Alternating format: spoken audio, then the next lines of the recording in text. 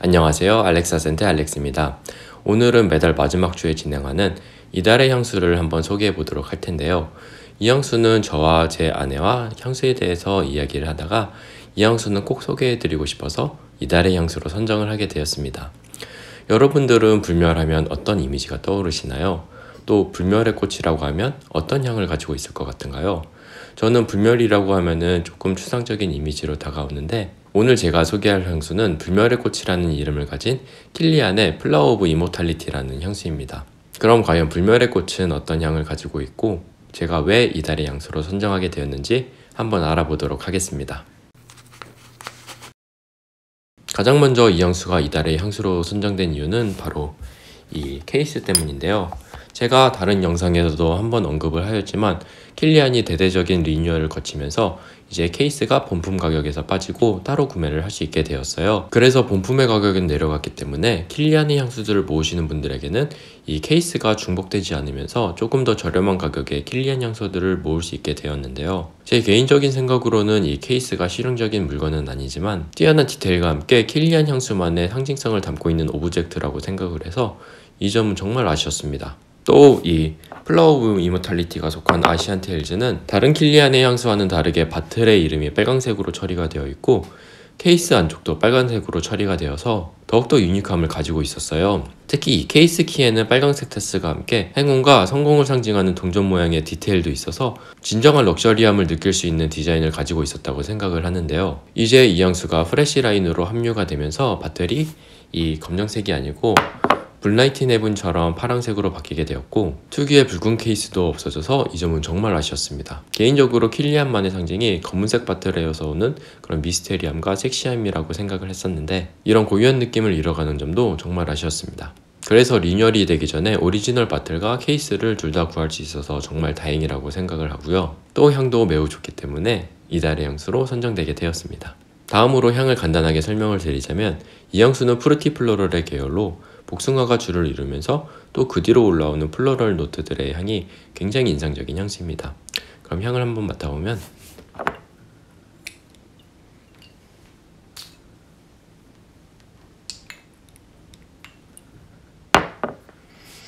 처음에는 상큼한 복숭아의 향도 느껴지지만 곧바로 부드러운 꽃향으로 이어지는데요. 백도의 깨끗하고 fresh한 복숭아 향을 유지하면서 프레지아의 예쁜 꽃향과 그리고 장미의 로맨틱한 향이 올라오는데 정말 아름다운 향을 가지고 있습니다. 그리고 여기서 시간이 지나면 아이리스의 powdery함도 여기에 살짝 느껴지고 잔향으로 갈수록 예, tonka bean의 sensual하고 달콤한 향이 여기에 더해지면서 관능적인 느낌도 가지고 있습니다. 그래서 향이 굉장히 밝고 활기가 넘치는 향을 가지고 있지만 킬리안 집안의 향수답게 킬리안 특유의 섹시하고 치명적인 느낌도 가지고 있어서 이런 대비가 굉장히 인상적이었습니다. Flower of Immortality는 젊고 밝은 느낌을 킬리안 특유의 느낌으로 다시 재표현한 것이 굉장히 인상적이었는데요. 왜 불멸의 꽃이라는 이름을 가지고 있는지 궁금해서 검색을 해보니까 럭키센츠라는 사이트에서 이 향수가 어디서 영감을 받았는지 알아낼 수 있었습니다. 정말 간단하게 설명을 드리자면 이 향수는 중국의 한 이야기에서 영감을 받아 만든 향수인데요. 이 이야기는 한 어부가 강에서 배를 타다가 우연하게 숲으로 들어가게 되는데요. 이 숲이 꽃이 핀 복숭아 나무들로 가득 차 있었고 속세와 단전된 파라다이스를 찾을 수 있었다. 이런 내용의 이야기입니다. 또 복숭아의 꽃은 특이하게 겨울에만 피는데 중국에서는 이런 모습을 보고 인간의 영혼을 불멸하게 만들어주는 힘을 가지고 있다고 생각을 하고 있다고 합니다. 그래서 이상적인 파라다이스와 불멸이라는 신화와 상징성을 엮어서 만든 것이 바로 이 Flower of Immortality라고 합니다. 자세한 내용이 궁금하신 분들은 영어긴 하지만 아래에 링크를 넣어둘 테니 참고해 주시면 좋을 것 같습니다. 저도 처음에는 이 향수가 왜 불멸의 꽃이라는 이름을 가지고 있었는지 정말 궁금했었는데 이 이야기를 알게 되자마자 정말 소름이 쫙 돋았고요. 역시 킬리안이 제시하는 narrative와 그리고 여기에 딱 맞는 향은 정말 미쳤다고 할 만큼 치밀하면서 굉장히 디테일하다고 생각을 하였습니다. 정말 niche 브랜드라도 보기 힘든 이런 장인 정신과 그리고 한 가지의 예술 작품을 보는 듯한 이런 고급스러움과 럭셔리함은 굉장히 인상적이었고요. 발렌타인데이를 기념하면서 이 향수를 구입했었는데 이런 상징과 그리고 이야기도 담고 있어서 저에게는 더욱더 뜻깊은 향수가 될 것 같습니다. 다시 본론으로 돌아와서 이 향수는 다른 킬리안의 향수들처럼 엄청난 컨셉뿐만 아니라 굉장히 완성도가 높은 향을 가지고 있습니다. 다만 이 향수는 중성적인 향수라고 분류를 하고 있지만 복숭아와 floral note에서 오는 살짝 여성적인 느낌도 가지고 있는데요.